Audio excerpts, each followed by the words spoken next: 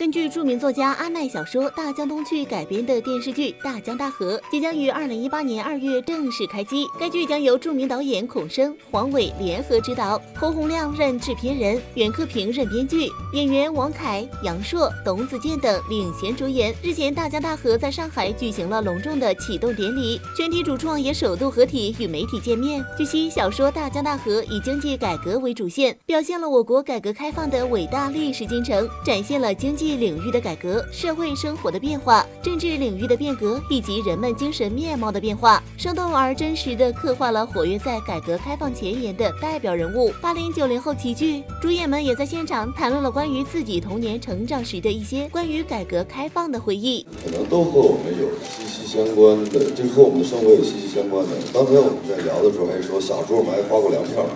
对啊，对，粮票、邮票，地方有粮票，然后是换东西的。是。然后，我要是从角色出发的话，应该是承包责任制，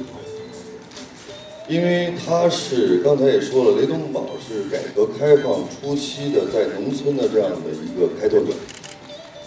呃，我是觉得就是这个角色，我觉得更多我不用去聊了，因为我们的这个小说写的是太完美，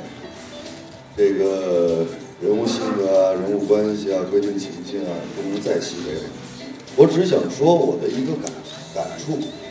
就是改革开放之后变化太大，之前可能是几年一个变化，然后现在可就是然后到一年一个变化，到现在几个月一个变化。那我能切身的感受到，作为一个中国人，我特别值得骄傲。我走在世界各地，我都可以骄傲的告诉他们，我是中国人。中国现在有钱了，有能力了，这一切来源于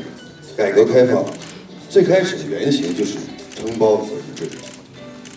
因为我们九零后共同记忆都依稀的记着，就是哦，大家说过万元户啊，当然万元户不容易，但现在其实现在现在中国其实大部分人也已已经都是万元户了，所以就是其实这个这个这段时间的发展是非常非常迅速的，然后中国也非常的强大，然后有钱了有底气了，所以就是作为中国人也挺。骄傲。大江大河此番汇聚最强制作班底和演员阵容，力求通过典型深刻的人物塑造和跌宕磅礴的故事讲述，全景展现改革开放伟大历史进程中的中国经济生活，深度揭示历史转型新时期平凡人物的不同命运，迎接改革开放四十周年。而最近在紧张研究剧本的王凯，谈论及自己演绎的角色与生活中的自己也有几分相似之处。我曾经说过一句话，也是在上海。我说我要感谢这十年中的我自己，无论经历怎样的挫折与困难，困难我坚持过来，我未曾放弃。其实我觉得这句话用在宋运辉的身上也是合适的，所以我觉得就就这么一点的契合点，我觉得我跟宋运辉还是有相似的地方的。我们都有一股韧劲，都有一份坚持。